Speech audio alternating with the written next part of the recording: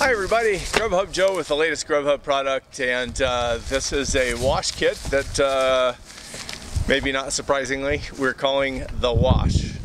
Here is the wash.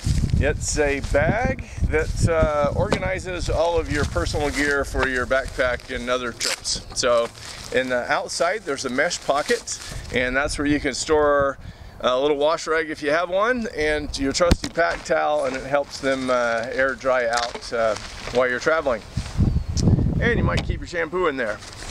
On the other side we have a pocket uh, that could store and separate uh, small items like uh, maybe your lighter if you're backpacking, you might need to burn your TP. So there's your lighter. There's your genuine backpack uh, toothbrush with the uh, handle chopped off that actually weighs about the exact same as the empty bag. So uh, the bag is uh, silicone uh, nylon that's uh, waterproof on the inside and very, very light. So you're not taking a hit for organizing your gear here.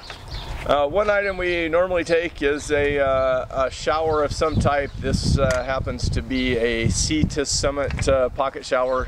It's about 10 liters and we use it to haul water from the lake to camp and then to fill pots and stuff at camp.